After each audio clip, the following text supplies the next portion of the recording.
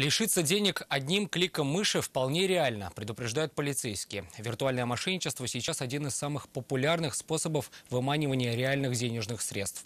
В отличие от других методов, этот больше направлен на пользователей всемирной паутины, в идеале не знающих всех тонкостей виртуального пространства.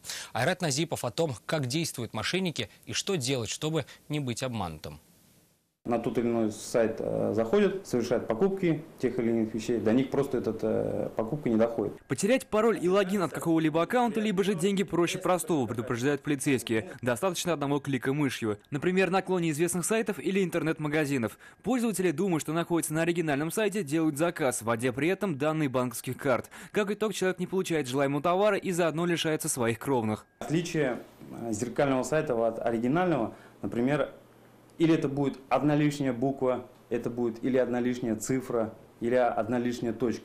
То есть один в один э, сайт не зарегистрируется никак. Под угрозой и аккаунты в социальных сетях. Получив доступ к странице, мошенник начинает писать от имени пострадавшего его друзьям с просьбой перечислить деньги. Что бы ни случилось, говорят полицейские, не стоит торопиться кликать на подозрительные ссылки, иначе вирус может загрузиться автоматически.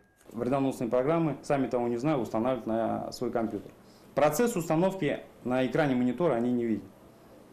А уже все сведения, которые сохранены на компьютере, вот этот мошенник, он может посмотреть. Особенно уязвимы телефоны. Для обмана пользователя с помощью гаджета существует множество способов. СМС-сообщения или в мессенджерах э, каких-то поступают такие посмотри, какие у нас совместные фото. Очень много такая рассылка идет. Ты нажимаешь на эту ссылку, думаешь, что там фотография какая-то загружена совместно, а на самом деле это вредоносная программа, и она тем самым закачивает на телефон. Или могут на почту приходить, вы выиграли там приз, пройдите по ссылке. Чтобы не попасться в виртуальную ловушку, говорят полицейские, следует соблюдать простые меры предосторожности. Не переходить по подозрительным ссылкам, перепроверять названия и дизайн сайтов, читать отзывы, а также регулярно обновлять антивирус на компьютере. Айрат Назипов, Амир Залишев, вызов 112.